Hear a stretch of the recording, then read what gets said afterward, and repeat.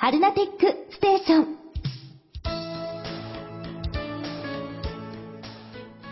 スマートフォン片手に配信をお聞きのリスナー様、こんばんは。あなたのお耳の清涼剤、春菜蓮です。金曜日週末の夜をいかがお過ごしでしょうか本日も30分という短い時間ではございますが、お付き合いお願いいたします。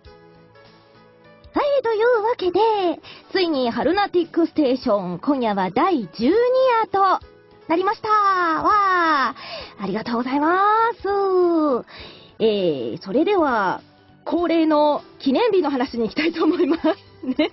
で、先週ものすごくいろんなお話をなんかさせていただいた記憶があるんですけども、今日6月22日はですね、なんと、ボーリングの日だそうです。ボーリング、皆さん遊びます？えー、私も結構好きでね、なんかよく、えー、友達と一緒にいたりとかするんですけど。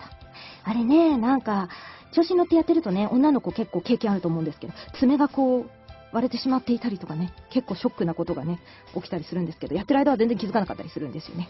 ねえ、ねでも、なかなか私も好きです。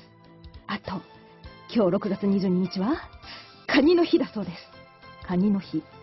えー、この理由がですね、私ちょっと面白くって、これ、なんと、あいうえお順で、カニのかが6番目に来ている。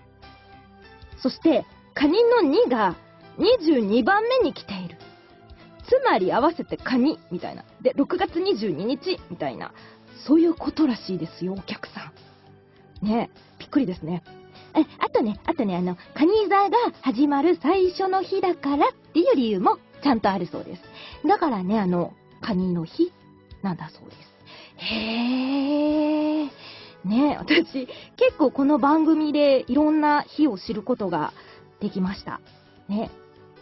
あとですね、えー、昨日21日が夏至だったわけなんですけれども、夏至ってね、なんか当時に比べてなんかやったりするのかなっていうと、大阪近郊ではタコを食べたりする瞬間、習慣があるらしいんですよ。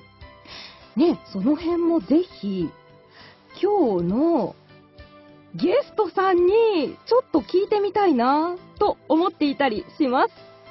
そうなんです。今日はゲストさんが来てくれていますよ。えー、ではでは、この後紹介したいと思いますので、皆さん CM の間ワクワクと待っていてくださいね。えー、それでは、えー、今週もお付き合いよろしくお願いします。